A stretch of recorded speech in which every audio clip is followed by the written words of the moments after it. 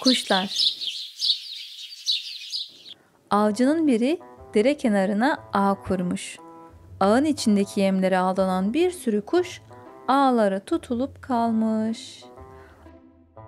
Avcı bunları toplamaya gelirken kuşlar ağ beraber pır diye uçup havalanmışlar.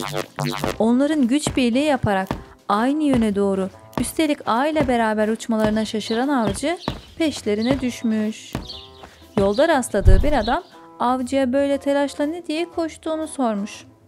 Avcı da uçup giden kuşları göstererek onları yakalayacağını söylemiş. Adam gülmüş. Allah akıl versin. Havada uçup giden kuşlara yetişebileceğini mi sanıyorsun? Avcı, evet. Ağda bir kuş olsaydı yetişip tutamazdım. Ama göreceksin, bunlara yetişeceğim, demiş. Dediği gibi de çıkmış. Akşam olup da hava kararırken kuşların her biri kendi yuvasına gitmek istiyormuş. Bir kısmı ağı ormana doğru çekiyormuş, bir kısmı göle doğru. Kimi dağlara gitmek istiyormuş, kimi çalılıklara. Hiçbirinin de dediği olmamış. Aile birlikte yere düşmüş kuşlar. Avcı da gelmiş, hepsini yakalamış.